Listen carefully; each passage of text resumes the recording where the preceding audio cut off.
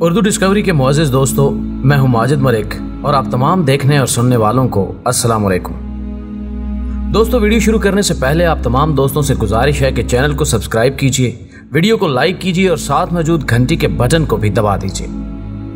ناظرین گرامی، فیض محل کے برامدوں نے ایک ایسی لو سٹوری بھی جنم دی، جس سے پاکیزہ جیسی درجنوں فلمیں بنی ناولز بھی لکھے گئے اور افسانے بھی تراشے گئے۔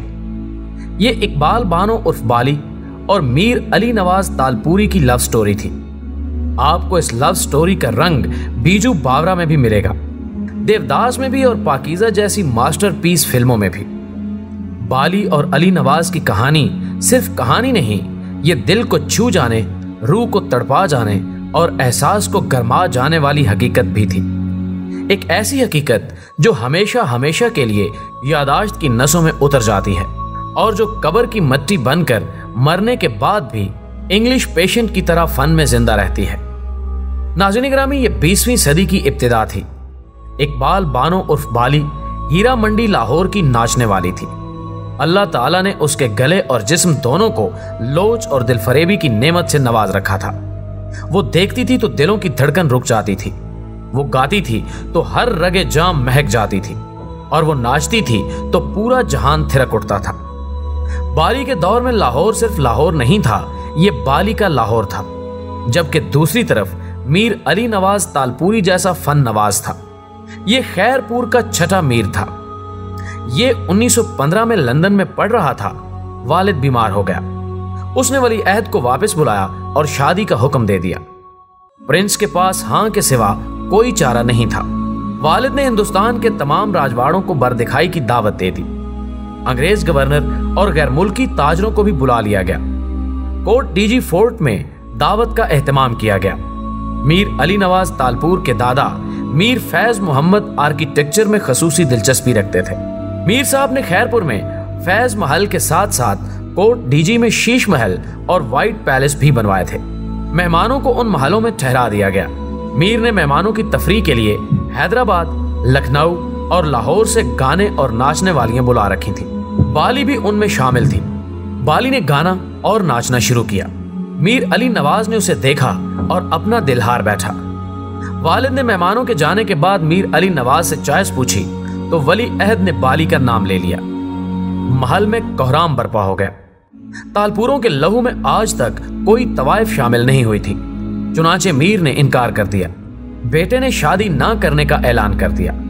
باپ اور بیٹے کے درمیان کشمکش شروع ہو گئی۔ لاہور میں میروں کا محل تھا۔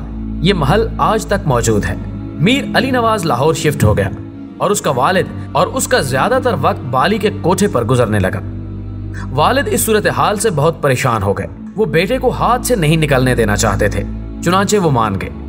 میر علی نواز رشتہ لے کر کوٹھے پر پہنچا۔ بالی کی والدہ نے اپنے خدشات کا اظہار کیا۔ اس کا کہنا تھا، یہ ہماری کمائی کا واحد ذریعہ ہے۔ یہ نہ رہی تو ہم سب بھوکے مر جائیں گے۔ میر علی نواز نے بالی کے سارے خاندان کو خیرپور آنے اور وہاں مستقل قیام کرنے کی دعوت دے دی۔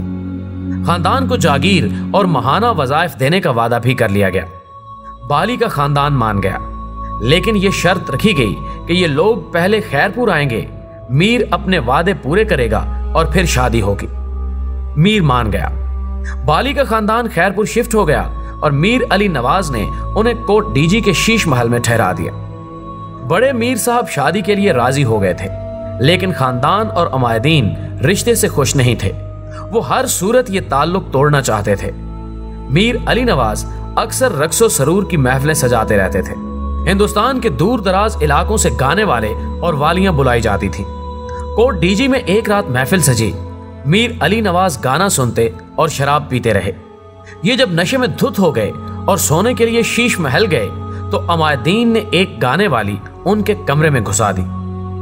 یہ خبر اس کے بعد بالی تک پہنچا دی گئی۔ میر صبح اٹھے، اجنبی عورت کو کمرے میں دیکھا اور پریشان ہو گئے۔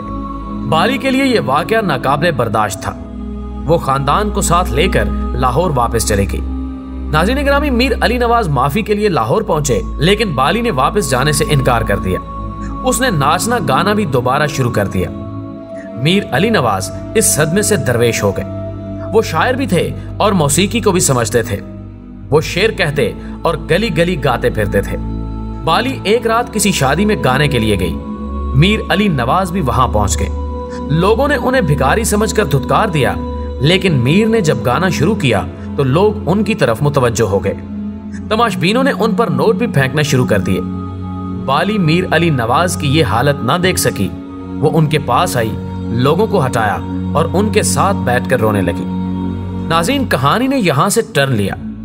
بالی شادی کے لیے مان گئی، لیکن ماں نے رشتہ توڑنے کے لیے آخری کارڈ کھیل دیا۔ اس نے شرط رکھی کہ میر علی نواز بارات لے کر ہیرا منڈی لاہور آئیں گے۔ میر فوراً مان گئے۔ اور اس کے بعد دنیا نے ایک عجیب منظر دیکھا۔ میر علی نواز نے پوری ٹرین بک کی۔ ٹرین میں تمام شاہی زیورات، گھوڑے، ہاتھی، بندوقیں اور توپیں بھریں اور ریاست کے سارے معززین کے ساتھ بارات لے کر ہیرا منڈی لاہور پہنچ گئے۔ یوں بالی کا نکاح ہوا اور وہ شاہی بارات کے ساتھ خیر پور پہنچ گئی۔ اقبال بانو شروع میں فیض محل میں رہی، لیکن پھر میر نے اس کے لیے دلشاد منزل کے نام سے الگ محل تعمیر کرا دیا۔ یہ محل آج بھی خیر پور ریلوے اسٹیشن کے قریب موجود ہے۔ یہ چار بیڈ رومز کا بڑا محل تھا۔ محل کے اندر مجسمے اور اس وقت کی نادر پینٹنگز تھیں۔ لان بھی لاجواب تھا۔ میر علی نواز کا زیادہ تر وقت اس محل میں گزرتا تھا۔ وہ انیس سو اکیس سے انیس سو پینتیس تک خیر پور اسٹیٹ کے میر رہے۔ میر نے بالی بیگم کے لیے ایک شاندار کشتی بھی بنوائی۔ یہ کشتی موہٹا اینڈ ہرمن کمپنی نے بنائی تھی۔ اور اس پر اس زمانے میں پچہتر ہزار روپے خرچ آیا تھا۔ یہ کتنی بڑی رقم تھی؟ آپ اس کا اندازہ فیض محل سے لگا لیجیے۔ فیض محل اس زمانے میں مغربی ہندوستان کا مہنگا ترین محل تھا۔ اس پر ایک لاکھ روپے خرچ آیا تھا۔ اور یہ لاکھ روپے کی وجہ سے لکھوی پیلس کہلاتا تھا۔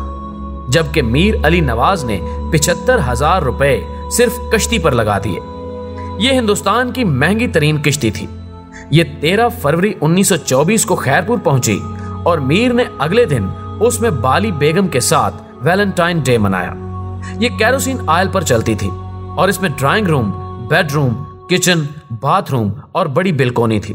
میر اور بالی بیگم اس کشتی پر اکثر نارا کینال میں سیر کرتے تھے۔ برطانوی حکومت نے دوسری جنگ عظیم کے دوران سندھ میں مارشل لا لگایا تو یہ کشتی انگریز گورنر کے قبضے میں چلی گئی۔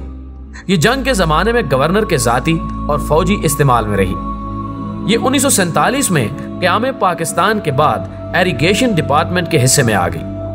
یہ شاہ ایران، جنرل ایوب خان، ذوالفقار علی بھٹو، پیر پگاڑا اور جنرل ضیاء الحق کے استعمال میں بھی رہی۔ دو ہزار ایک میں فریال تالپور نواب شاہ کی ناظم بنی۔ محتمہ نے نواب شاہ میں ایم ایچ کھوجا میوزیم بنایا۔ بالی کی کشتی اس وقت تک نوادرات میں شامل ہو چکی تھی۔ ناظمہ نے حکم دیا اور یہ ٹریکٹر ٹرالی پر لاد کر نواب شاہ لائی گئی۔ کشتی راستے میں ٹرالی سے گر گئی، ٹوٹ گئی اور پھر اسے گھسیٹ کر نواب شاہ کے میوزیم کے سامنے پھینک دیا گیا۔ کشتی کے رہے سہے حصے کھلی فضا میں پڑے پڑے ضائع ہو گئے اور یوں بالی اور میر علی نواز کی محبت کی دوسری نشانی بھی ضائع ہو گئی۔ ناظرین گرامی، دلشاد منزل بالی اور میر علی نواز کی محبت کی پہلی نشانی تھی۔ یہ نشانی وقت کے ہاتھوں بک گئی۔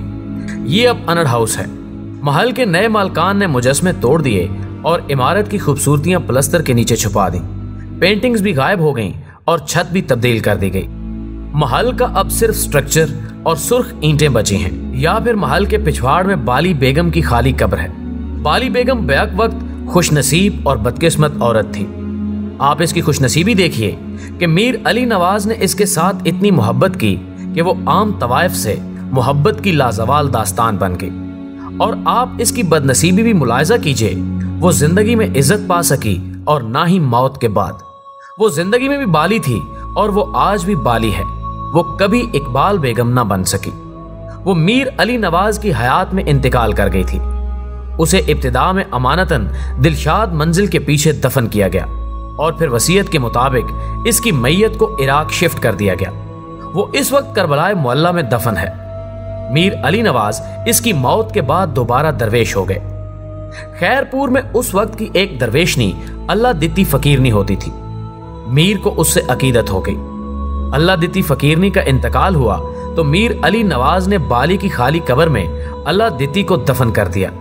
یوں محبت کی یہ عجیب سلگتی تڑپتی داستان اختتام پذیر ہو گئی۔ لیکن اس کی کرچیاں آج بھی نواب شاہ، خیر پور اور لاہور میں بکھری پڑی ہیں۔ یہ قصہ آج بھی لکھنے والوں کی تحریروں میں زندہ ہے اور شاید یہ ہمیشہ زندہ رہے گا۔ دوستو، ہمیں امید ہے کہ ہماری آج کی یہ ویڈیو بھی آپ کو پسند آئی ہوگی۔ ویڈیو پسند آنے کی صورت میں اسے لائک کیجیے، فیس بک اور واٹس ایپ پر اپنے دیگر دوستوں کے ساتھ بھی شیئر کیجیے اور کمنٹ باکس میں ہمیں اپنی قیمتی تجاویز سے ضرور آگاہ رکھیے گا۔